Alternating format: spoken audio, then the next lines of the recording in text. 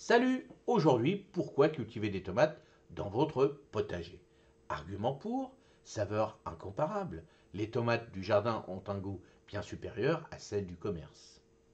Variété de choix, possibilité de cultiver de nombreuses variétés, anciennes, hybrides, cerises, etc. Valeur nutritive, riche en vitamines, antioxydants et minéraux. Productivité, une seule plante peut produire une grande quantité de fruits. Plaisir de la récolte, cueillir ses propres tomates est gratifiant et amusant. Argument contre, exigence en soins, les tomates demandent une attention régulière, arrosage, taille, palissade.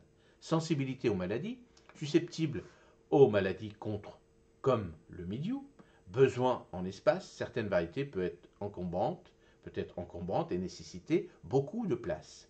Conditions spécifiques, préfère des conditions chaudes et ensoleillées.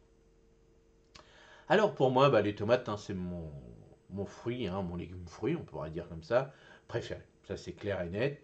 Et puis bon, bah, le goût, voilà, il n'y a aucun, aucune, comparaison. Et puis c'est vrai que bon, moi j'utilise que des variétés anciennes. Et euh, bon, bah voilà, le goût, n'y a rien de meilleur. On peut même les manger comme ça, surtout les petites tomates cerises.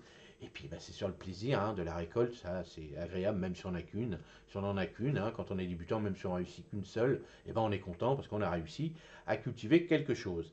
Alors, exigence, bah bien sûr, hein, quand on a une année comme ça, très pluvieuse, il faut faire super gaffe. C'est pour ça que moi, je l'ai fait maintenant tout le temps sous mon tunnel. Et j'avais essayé quelques fois de les faire à l'extérieur, mais bon, vous voyez, cette année, j'ai même pas fait du tout. J'ai même, même pas fait un test parce que je savais très bien que ça n'allait pas, pas marcher. Puis, bah, comme toute culture, hein, qui sont un petit peu, on va dire, hein, la tomate, euh, chez nous, surtout en Normandie, c'est exotique. Hein, donc, automatiquement, on lui donne le, maximum. Mais bon, bah, il y a des maladies qui arrivent. Et euh, puis, elle a besoin de chaleur. Si on n'a pas de chaleur, tout ça, bon, on ne les réussit pas. Bon, pour l'instant, moi, ça va encore pour l'instant. On verra bien. On verra bien juillet-août ce que ça va donner. Et puis, on se tient au courant. Allez, dites-moi, vous, si vous adorez les tomates comment vous faites. Et puis, euh, n'hésitez pas à me poser des questions dans les commentaires. Allez, salut, passez une excellente journée. À demain matin. Salut.